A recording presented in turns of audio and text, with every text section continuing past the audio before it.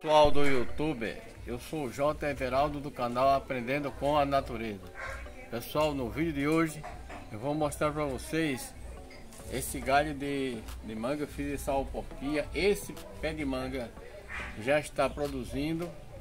Então agora eu vou tirar essa alporquia mostrar para vocês que é, ele já engrossou bastante, não tem raízes, mas ele já fez um embençamento bastante para soltar raiz. Vocês vão dar uma olhada aqui, ó.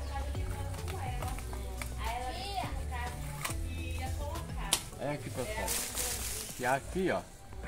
Eu raspei aqui. Eu raspei aqui. Isso tem o que? 120 dias.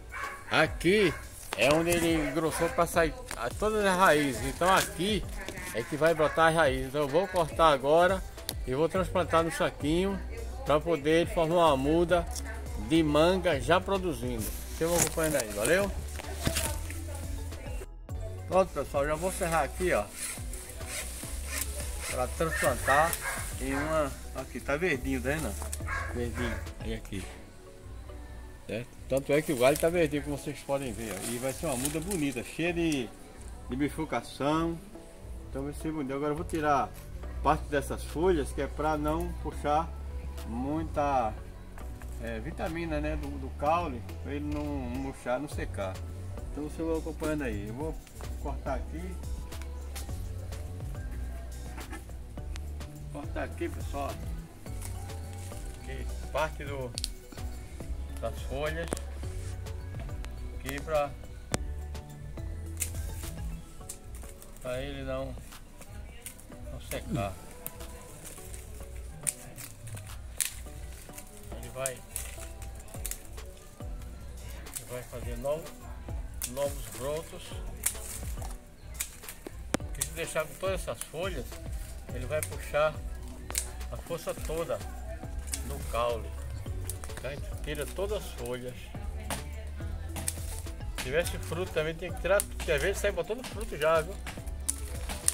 E aqui a gente tira tudo assim, que é pra, é pra não puxar a força do caule. Pronto. Ele está aqui, né?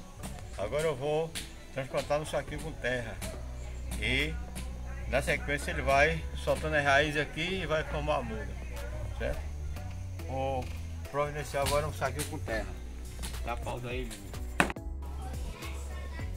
Pronto pessoal, aqui ó. Já peguei a terra, a terra bem boa, bem estumada, adubada. Agora vou botar, certo? O caule aqui, que é para ele enraizar e formar uma muda. Pronto. Aqui está no ponto certo. Dá uma apertadinha aqui para compactar mais lugar das raízes.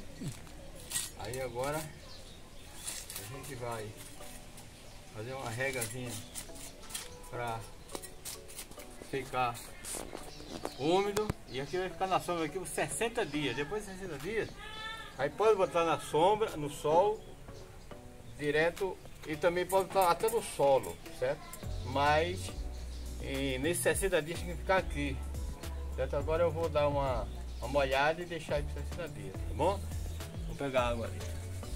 Pausa aí. Pronto pessoal, agora eu vou fazer a rega aqui ó Molhar bastante porque vai ter que molhar